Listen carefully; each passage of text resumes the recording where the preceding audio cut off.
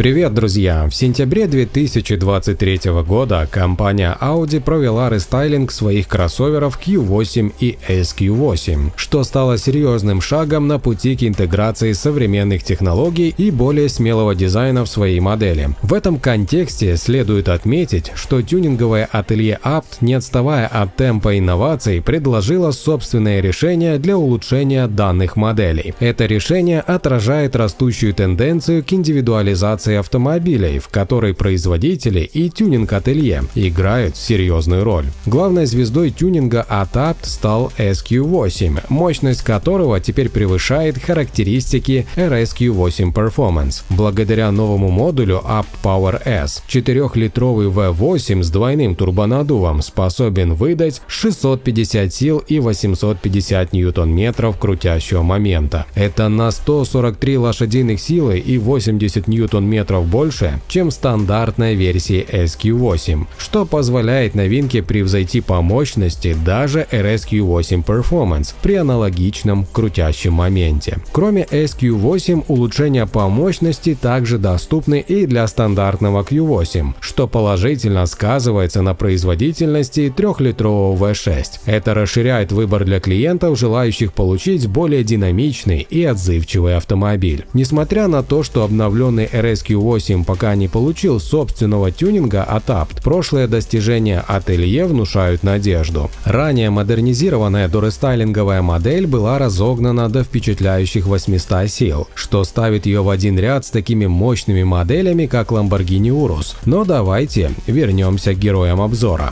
Тюнинг ателье также не обошло стороной аэродинамические аспекты, предложив специальный обвес как для Q8, так и для SQ8, который подчеркивает их агрессивный и динамичный стиль. В пакет входят передний сплиттер, боковые воздухозаборники на передних крыльях, задний спойлер и юбка с четырьмя выхлопными трубами. Эти изменения в сочетании с фирменными колесами диаметром в 22 или 23 дюйма придают автомобилям более выразительный вид, подчеркивая их спортивный характер. Кроме того, для улучшения управляемости и снижения центра тяжести, ателье предлагает установить модуль для адаптивной пневматики пневмоподвески, что позволит уменьшить дорожный просвет на 25 мм. Что касается интерьера, ателье также предложило ряд улучшений, которые способны преобразить внутреннее пространство обновленных Q8 и SQ8. Глянцевые карбоновые вставки на приборной панели, рамки сидений и селекторы передач создают атмосферу роскоши и изысканности. Подсвечиваемые логотипы на порогах и фирменный логотип Up на кнопке Start-Stop добавляют завершенности и стиля. В итоге полный комплект доработок от ателье обойдется владельцу в 38 тысяч долларов, и это без учета налогов и установки, что как бы не дешево, но что поделаешь.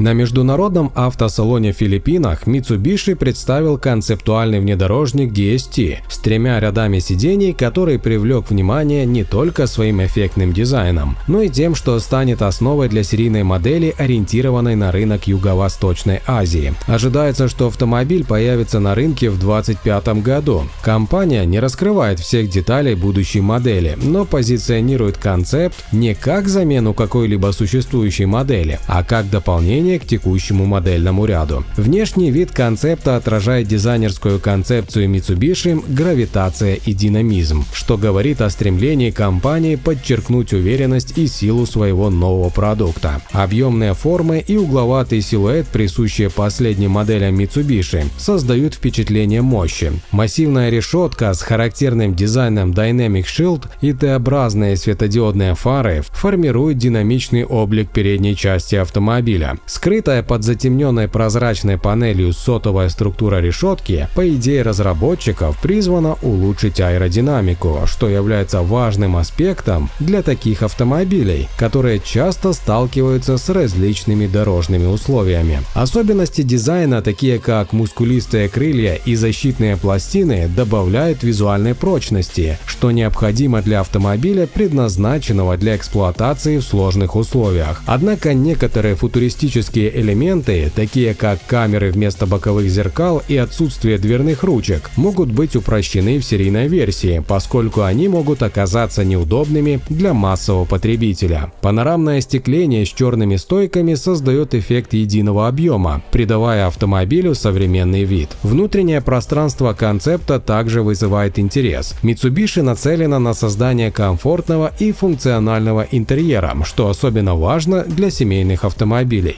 Мягкие материалы на приборной панели и дверях придают салону премиальный вид. Полностью цифровая приборная панель и футуристичная центральная консоль подчеркивают современность, а новый двухспицевый мультифункциональный руль добавляет удобства. Встроенные столики для пассажиров второго ряда и отдельный климат-контроль показывают, что компания уделяет внимание деталям, обеспечивая комфорт для всех пассажиров. Третий ряд сидений занимает значительное пространство, что может сократить объем багажника при полной загрузке до 7 человек. DST базируется на несущем кузове. Предположительно, это удлиненная версия платформы X-Force, в то время как эта платформа оснащена полуторалитровым мотором мощностью в 105 лошадиных сил в сочетании с вариатором и передним приводом. Существует вероятность, что для более крупного кроссовера DST потребуется более мощный двигатель. На данный момент компания не предоставляет полных технических данных о новом автомобиле, что оставляет пространство для спекуляций. Официально подтверждено, что DST будет переднеприводным, однако модель обещает высокий уровень безопасности на любых дорогах благодаря приличному дорожному просвету и пяти режимам езды. Это обеспечивает стабильное и уверенное вождение в различных погодных и дорожных условиях. На данный момент Mitsubishi не раскрыла всех деталей о серийной версии DST, но больше информации появится в ближайшие месяцы. В условиях